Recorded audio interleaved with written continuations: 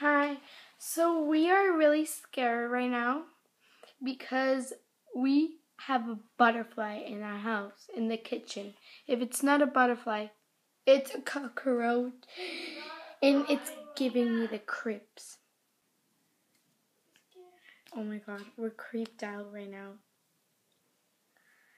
She moved the plant and you imagine it's just on her feet. I creeped right now.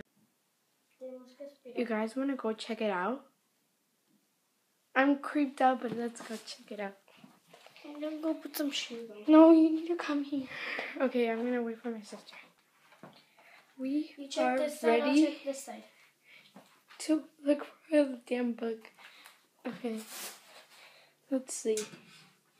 What do we have here? You imagine it was just imagination? Though? No, I saw it. Me too, though. It was moving. I saw. We're in a really weird situation here. Situation. We're looking for this ugly bug, which is so not pretty. And my sister's like weird. It's in there. I already know that. Hold this. Oh, ew. Okay, I'm gonna go get napkins. okay. I think she found it. My sister just said, I'm wearing shoes, butterfly. I'm not afraid of you. And then she grabs it, she's like, a little bit. What if it's in the bag? Back. Ham flesh? You can't about to see the cockroach. Don't let it go though. Okay. Don't let go the gato, no. Don't let go the, the middle one, the circle.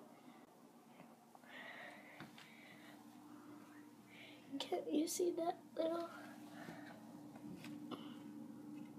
thing right there? Yeah, that's it. I'm about to get it.